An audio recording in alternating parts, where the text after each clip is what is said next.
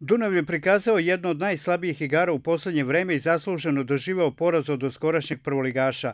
U ne baš zanimljivoj igri u prvom poluvremenu u kome su domaćini bili konfuzni, igrali nepovezano i rastrzano, gosti su se bolje snašli i stekli prednost. U 28. minutu Tutnjević je izveo korner, a pred golom Dunava najbolje se snašao Babić i pored uspavane odbrane domaćina savladao Ćirovića. Tek što je počelo drugo poluvreme ulaskom u igru Šavije i Petrića, živnula igra Starobanovčana i u prvom napadu stižu do izjednačenja. Perović je odlično centrirao po zemlji, lopta je prošla sve igrače, došla do Božinovića na drugoj stativi i nije mu bilo teško da pogodi mrežu za 1-1. Posle toga Dunav igra nešto bolje, ali jalovo pred golom Kronića. I kada se očekivalo da će meč biti završen bez pobednika u 88. minutu, gosti izvode brzu kontru i preko Baletića dolaze do vođstva od 2-1 i pobede.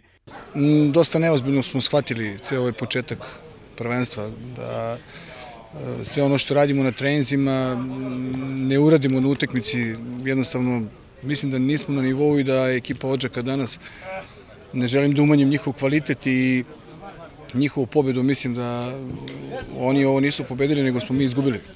OFK Očaci su se predstavili kao ozbiljna i ekipa koja zna šta hoće na terenu i disciplinovanom igrom zasluženo došli do tri boda. Borbena utakmica, prvo po vreme mislim da je pripalo nama ovaj, da, smo, da smo kontrolisali utakmicu i sad možda sa tim jednim pogotkom iz, iz, iz dve polušanse smo možda mogli da rešimo situaciju u svoju korist već u prvom polovremenu. Međutim, uh, posle dogovora u slačionici sve smo otišli u, u kontri 46 sekund bukvalno na početku utakmice dobijete 1-1 i onda ulazi, ulazi voda u uši tih nekih 15-20 minuta, međutim smogli smo snage i ovaj, pokazali karakter i uspeli smo da, da savladamo veoma, veoma nezgodnu ekipu.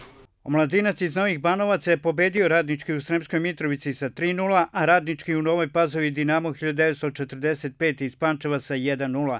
U drugom kolu Vojvođanske lige grupa Jug jedinstvo je u Staroj Pazovi savladalo Lski iz Laćarka sa 8-2, Podunavac iz Belegiša je pobedio Slaviju u Novom Sadu sa 2-0, a Sremac je u Vojke izgubio od svog iz Erdevika sa 2-0.